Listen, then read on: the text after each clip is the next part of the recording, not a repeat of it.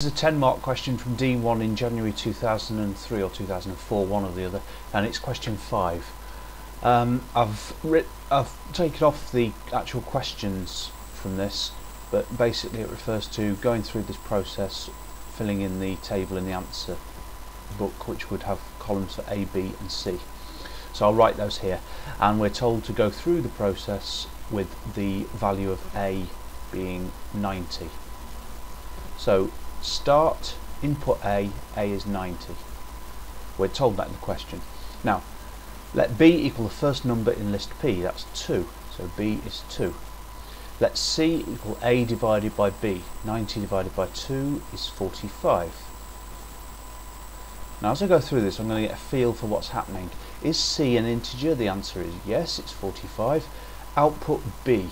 This is the output from the program 2. Is A equal to B? The answer is no. Let A equal C. So 90 is not equal to 2, so let A now be 45. So basically A has become 90 divided by the first prime number, 45. Uh, let B be the first number in list P, still 2. Let C equal A divided by B. A divided by B is 22 and a half.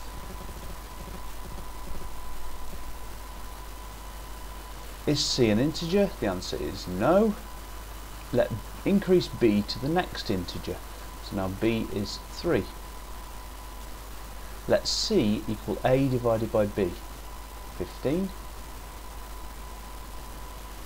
Is C an integer? Yes. Output B. So the output is there. Is A equal to B? The answer is no. Let A equal C. So A is now 15. Let B equal the first number in list P. Let C equal A divided by B.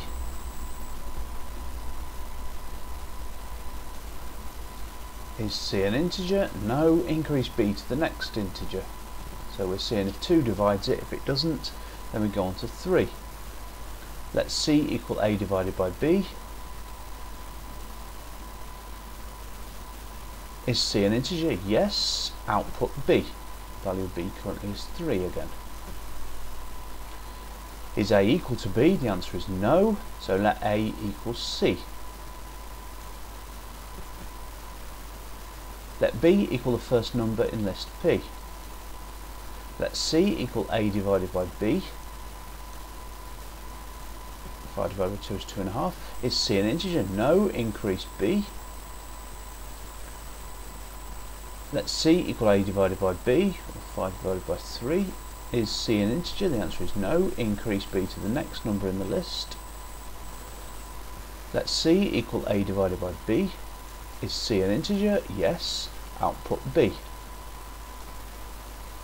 Is A equal to B? The answer is yes. End. So we're going to do with 2, 3, 3, 5.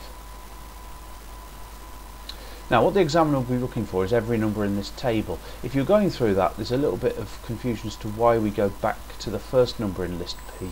Uh, if you're understanding what it does uh, there's probably no need to do that. Um, anyway, uh, uh the output list is 2335. Now the significance of this is, as we're going through this, this, this number, what we're doing is starting with 90 and dividing it by prime numbers. The first prime number that we can divide it by is 2 and that leaves 45.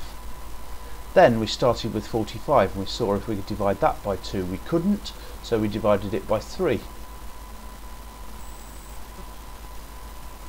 And as we were going it's a bit like one of these tree things that you would have done lower down the school. When we get to 15 we see if 2 divides it, it doesn't. We see if 3 divides it, it does. and We ended up with 3 times 5. 3 is a prime number.